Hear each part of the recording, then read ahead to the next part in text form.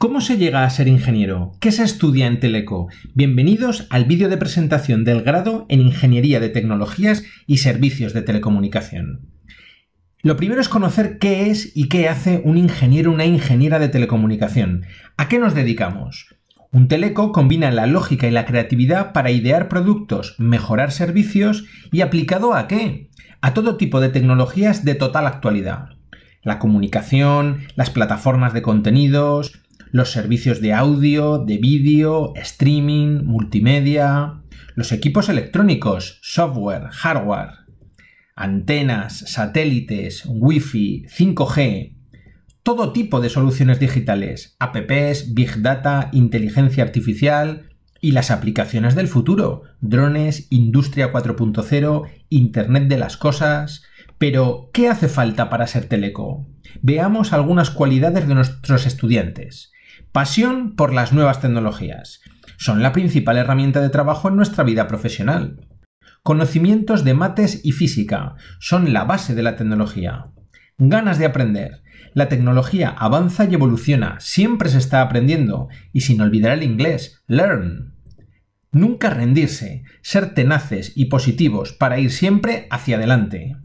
Curiosidad, preguntaros cómo funcionan las cosas, por qué son así y no de otra manera y tener espíritu de superación para mejorar y sacar vuestro máximo potencial, como las grandes compañías tecnológicas, Amazon, Google, Apple, siempre mejorando.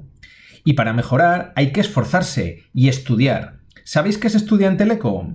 El grado tiene tres años comunes y el cuarto curso se elige una de las especialidades, telemática, electrónica, comunicaciones y sonido e imagen. Al finalizar el grado, se puede estudiar el máster para ejercer la profesión en Ingeniería de Telecomunicaciones. ¿Y qué se aprende? Conseguiréis adquirir muchas habilidades y muy diferentes. Fijaos en ejemplos reales de juegos o aplicaciones realizadas por estudiantes de Zaragoza en sus últimos cursos.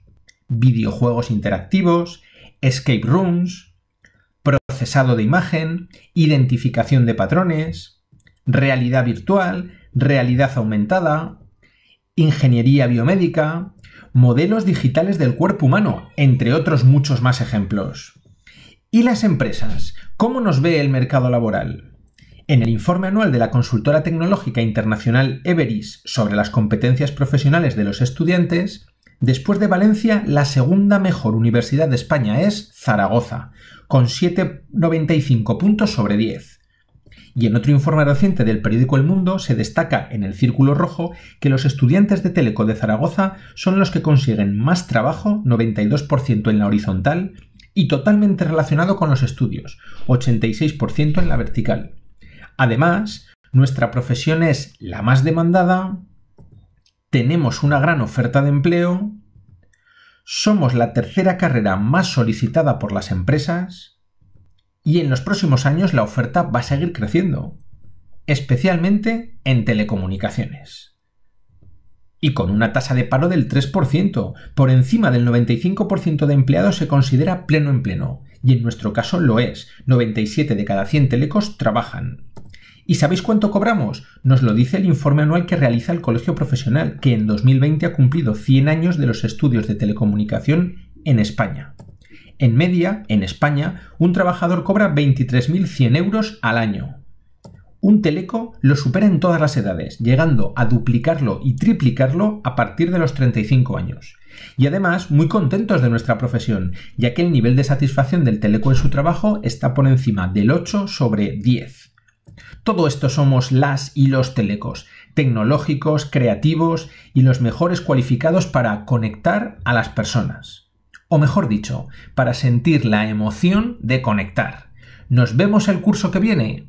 ¡Te esperamos!